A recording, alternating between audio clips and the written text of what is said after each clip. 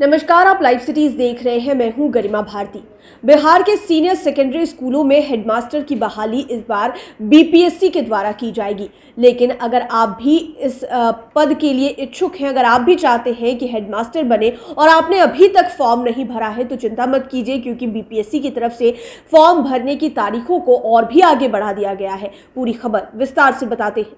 बिहार लोक सेवा आयोग यानी कि बीपीएससी ने सीनियर सेकेंडरी स्कूलों में हेडमास्टर की कुल 6,421 पदों पर भर्तियाँ निकाली है। उम्मीदवारों के पास 11 अप्रैल 2022 तक आवेदन करने का समय था लेकिन अब इसे बढ़ाकर 21 अप्रैल तक कर दिया गया है। आयोग की ओर से जारी अधिसूचना के मुताबिक अभ्यर्थी अपने आवेदन में 30 अप्रैल तक सुधार कर सकते हैं। इस पद के लिए पे स्केल पैंतीस हज़ार रुपए तक किया गया है। आवेदन करने के लिए उम्मीदवारों को आधिकारिक वेबसाइट डब्ल्यू या फिर ऑनलाइन बी पर जाना होगा। आपको ये भी बताते हैं कि आप किस प्रकार आवेदन कर सकते हैं। सबसे पहले आपको बीपीएससी की आधिकारिक वेबसाइट www.bpsc.bih.nic.in पर जाना होगा। अब यहाँ पर ऑनलाइन अप्लाई करें।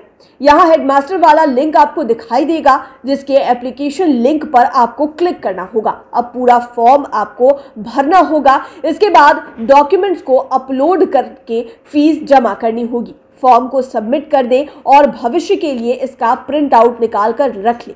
आपको ये भी बताते हैं कि हेडमास्टर के लिए शैक्षणिक योग्यता यानी कि एजुकेशनल क्वालिफिकेशन क्या रखा गया है?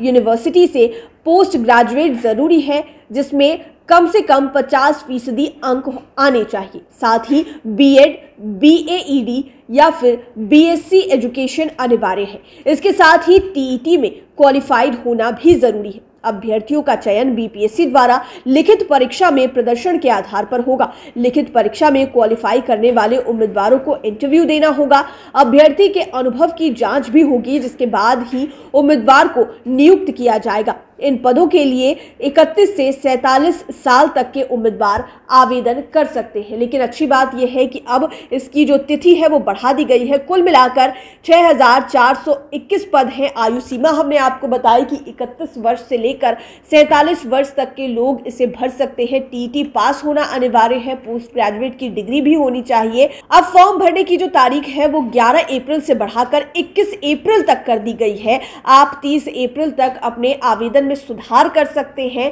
तो बहुत ही अच्छी खबर है जिन भी लोगों ने अब तक फॉर्म नहीं भरा होगा उन्हें और समय बीपीएससी की तरफ़ से दे दिया गया है। 6000 से ज़्यादा पदों पर बहाली होनी है तो आप जल्द से जल्द आवेदन कर लें। और अगर आप आ, की भी योग्यता है हेडमास्टर बनने की तो आपको ज़रूर आवेदन करना चाहिए। लाइव सिटीज़ के साथ आप बने रहें, हमारे चैनल को सब्सक्राइब करें। ये वीडियो फेसबुक पर देख रहे हैं तो पेज को लाइक करें, साथ ही साथ हमें ट्विटर पर ज़रूर फॉलो करें। धन्यवाद।